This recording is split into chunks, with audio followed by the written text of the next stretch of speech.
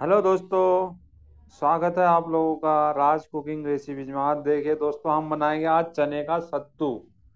चने का सत्तू शरबत बनाएँगे दोस्तों, आपको विधि बताएँगे। ये देखिए, हमारा चना है रोस्टेड इसको मसाला मसाला और ये देखिए हमारा पुदीना पिसा हुआ। ये देखिए, चना एकदम मसालेदार बनाएँगे आज सत्तू। चने का सत्तू बनाए, इसको मिक्सी में अच्छे से देखिए हम। ग्राइंड करेंगे और ये देखिए हमारे मसाले चने, जो काले वाले चने एकदम बारीक पीस दिए पेस्ट बना दिया है।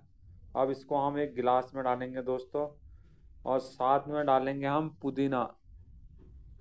और ये देखिए पुदीना पुदीना फ्लेवर देंगे और बहुत शानदार सत्तू तरवा, तैयार करेंगे। ये देखिए पुदीना भी डाल दिया।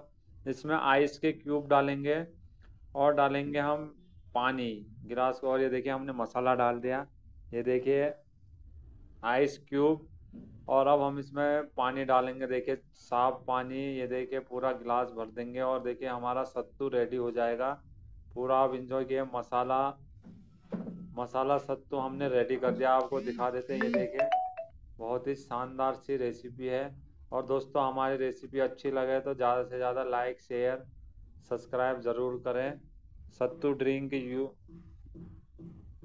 इंजॉय और इसी के साथ नमस्कार दोस्तों धन्यवाद।